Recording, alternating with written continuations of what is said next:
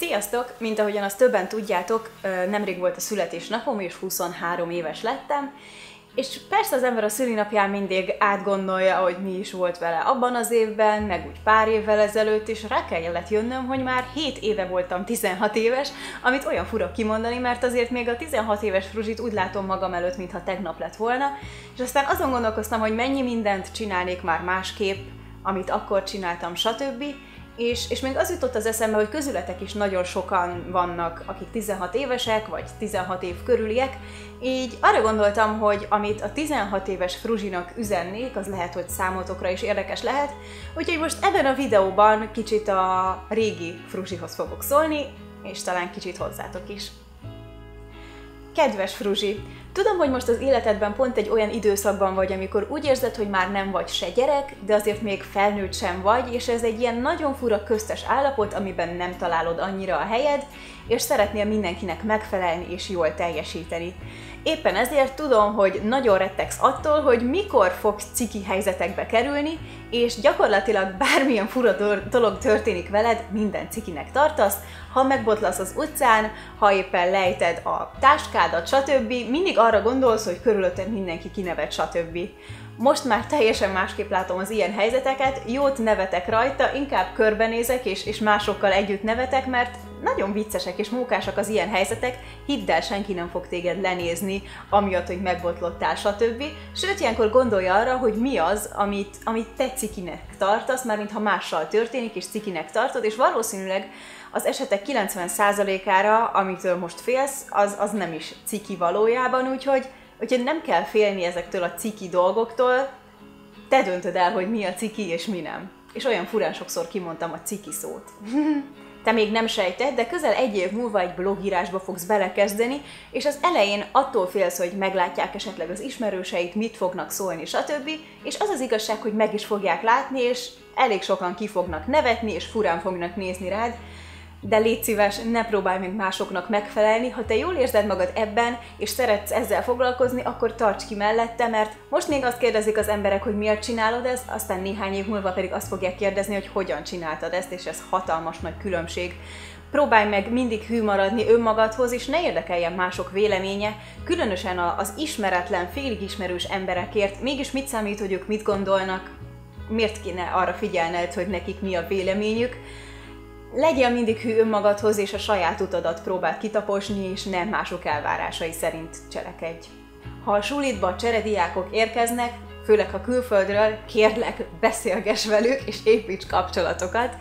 Tudom, hogy akkor olyannak tűnhet, hogy jaj, ez csak egy fölösleges időpocsékolás, nem akarom ezzel tölteni az időmet, stb. De hidd néhány év múlva visszagondolva tök jó lesz, lenne ha lenne egy külföldi barátod, akivel bármikor beszélhetsz, megismerhetnél egy embert a teljesen más kultúrából, és hidd el, nagyon jó, ha gyakorolhatod az angolt, és bátran beszélj akkor is, ha azt érzed, hogy nem vagy benne túl jó, csak gyakorlással lehet benne fejlődni, úgyhogy hajrá, hajrá, hajrá, ismerkedj meg új emberekkel, és, és, és próbálj nyitott lenni a világ felé. Tudom, hogy nagyon szeretsz mérgeskedni apró dolgokon is, de kérlek ezt felejtsd el. Ne kapd fel a vizet minden apróságon, ami, ami idegesítőnek tűnhet akkor, hogy mennyi házit kaptál, éppen esik az eső, leetted magad, stb. Őszintén számítanak ezek úgy igazából hosszú távon. Mindig gondolj arra, hogy egy év múlva ez az apró dolog mennyire befolyásolja majd a boldogságodat, és biztos lesz olyan dolog, amire azt mondod, hogy na most igenis megéri aggódni, mert tényleg hosszú távon is befolyásolja majd az életemet,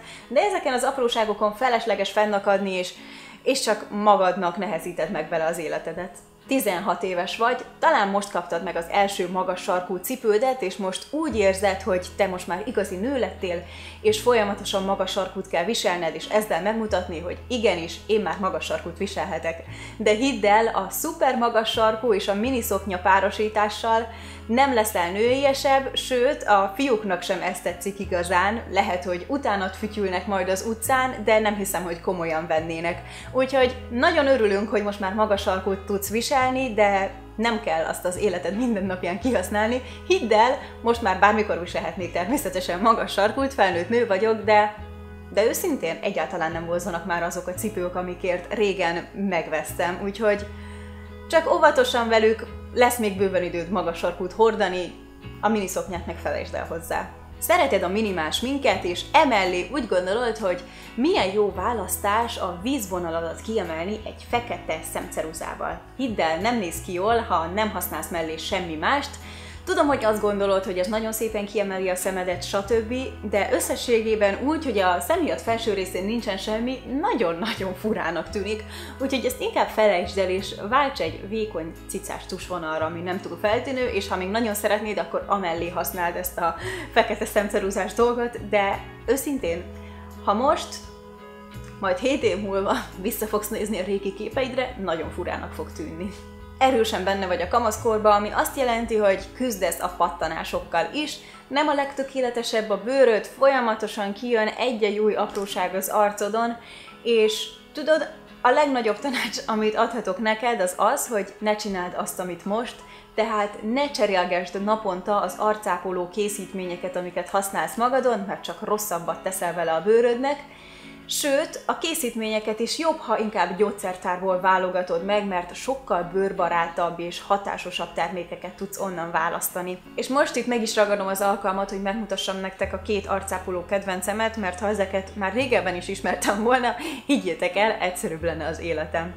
Sokszor találkozhatatok már itt a csatornán, vagy a blogomon is EUCERIN termékekkel, és ez a két újdonság nekem most nagyon-nagyon jól bevált. Az egyik ez az Aquaporin arckrém, ami normál és vegyes bőrre van, tehát az én arcomnak tökéletes, könnyen beszívódik a bőrömbe, és egész nap szép mat lesz az arcom tőle, nem kell attól félnem, hogy ki fog fényesedni, és a szokásos diszkógömb effektus lesz az arcomon. A másik pedig egy szemkörnyékápoló, és nagyon fontos leszögezni, és kedves Fruzsi, te is kérlek figyelj oda, a szemkörnyékápoló nem egyenlő a szemránc krémmel, a szemkörnyékünk egy nagyon érzékeny terület, úgyhogy nem árt már időben odafigyelni rá, bőven a ránckrémek használata előtt kell használnunk már szemkörnyékápolót, mert ezt a területet azért nyúzzuk rendesen, Fruzsi, te is kontaktlencsét használsz, a sminkedet esténként leszeded, és bármennyire óvatosan is próbálsz bánni ezzel a területtel, azért valamennyire mégiscsak nyúzod. És itt jön képbe az Aquaporin aktív szemkörnyék ápoló, aminek egy nagyon-nagyon szuper fém feje van,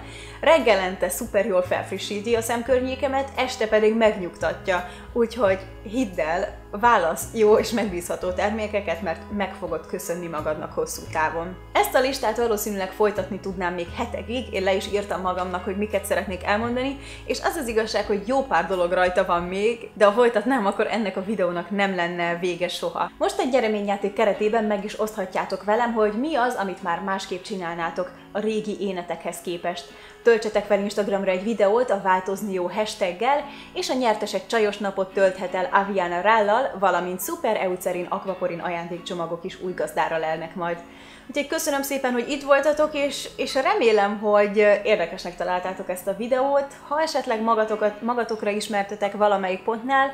akkor azt írjátok meg nekem, vagy ha ti is hasonlóan gondolkoztak, mint én. Köszönöm, hogy itt voltatok, találkozunk legközelebb is, sziasztok!